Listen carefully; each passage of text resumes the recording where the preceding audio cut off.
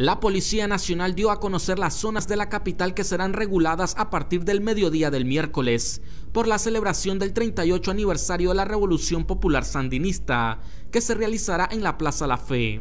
El acto será dirigido por el presidente Daniel Ortega, de acuerdo con la información que ha ofrecido el gobierno.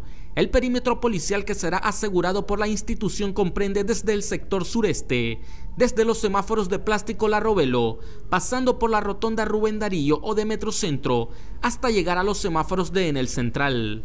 En la zona suroeste también se cubrirá de Enel hasta los semáforos del barrio Jonathan González, desviando el trayecto hasta la rotonda El Huehuense y luego hacia el norte, llegando al Estadio Nacional Denis Martínez, el Instituto de Medicina Legal, los semáforos de donde fueron las delicias del Volga, el Arbolito, hasta la costa del lago Solotlán. Desde este sitio, el perímetro se extiende por el puerto Salvador Allende y las costas del lago, terminando nuevamente en los semáforos de plásticos La Robelo. Metro, el diario más grande de Managua.